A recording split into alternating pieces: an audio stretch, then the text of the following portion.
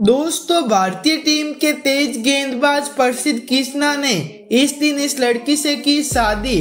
तो क्या है पूरी खबर? बताएँगे आज आपको इस वीडियो में। साथ ही बताएँगे आखिरकार प्रसिद्ध कृष्णा की शादी। कब हुई और कौन सी लड़की के साथ हुई और किस लड़की का नाम क्या है। लेकिन दोस्तों, इससे पहले अगर आप भी टीम इंडिया के बहुत बड़े फ़ैन हैं और चाहते हो टीम इंडिया इस बार वर्ल्ड कप का खिताब जीते तो आप इस वीडियो को एक लाइक ज़रूर कर लीजिएगा। और साथ ही क्रिकेट की हर छोटी मोटी खबर सबसे पहले पाने के लिए बेल आइकन को प्रेस कर लीजिएगा।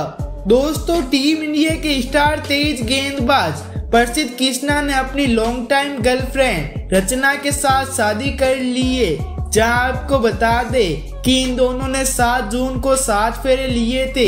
वहीं इन दोनों ने साउथ के रीति रिवाजों को मानकर सात फेरे लेते हुए शादी के बंधन में बंधे हैं। आपको बता दें कि प्रसिद्ध कृष्णा ने बीते मंगलवार, यानी 6 जून के दिन ही सगाई की थी, जिसकी तस्वीरें सोशल मीडिया पर काफ़ी तेज़ी से वायरल हो रही है। जहाँ दोनों ही येलो कलर के आउटफिट में नज़र आ रहे हैं। इसके बाद अब शादी की फ़ोटोज़ भी सोशल मीडिया पर काफ़ी तेज़ी से वायरल हुई है, जिसमें प्रसिद्ध कृष्णा और उनकी पत्नी रचना नज़र आ रहे हैं। इन फ़ोटोज़ ने सोशल मीडिया पर फैंस का दिल जीत लिया है। वहीं दोस्तों फैंस लगातार सोशल मीडिया पर उनको अपनी नई पारी के लिए बधाइयाँ दे रहे हैं। वहीं दोस्तों, आपको बता दें कि प्रसिद्ध कृष्णा के शादी में टीम इंडिया के स्टार प्लेयर्स जसप्रीत बुमराह और श्रेयस अय्यर समेत कई क्रिकेटर शामिल हुए थे।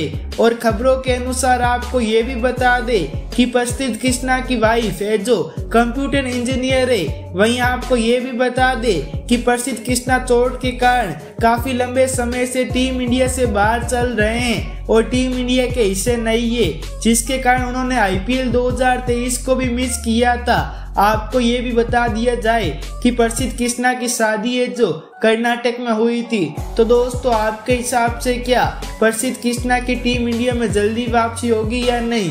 आप इसकी राय कमेंट सेक्शन में ज़रूर बताइएगा। साथ में ये भी बताइएगा कि आखिरकार टीम इंडिया इस बार वर्ल्ड कप का खिताब जीत पाएगी या नहीं।